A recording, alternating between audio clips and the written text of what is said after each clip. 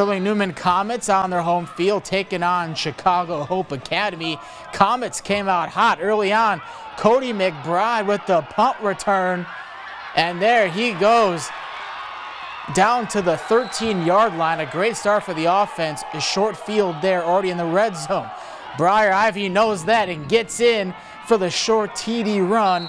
And right away it's six to nothing Newman. Briar Ivy not done there. Now on the kickoff, doing it all. Chases down the returner for a big tackle. Number 21, busy in Sterling today. Here he is again, Briar Ivy back on offense. 37 yards, and no one's going to touch him. 37 yards, another Comets touchdown, up 12 nothing.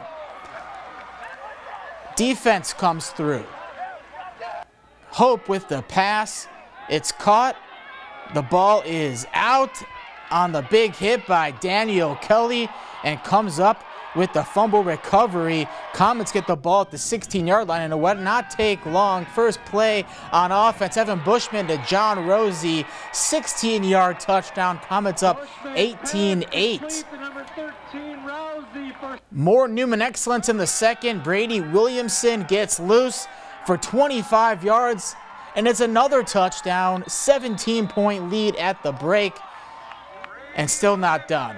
One more Sterling Newman touchdown. We'll go back to your boy, Briar Ivy, from six yards out, his third touchdown of the day, and the Comets cruise to a big win, 50 22.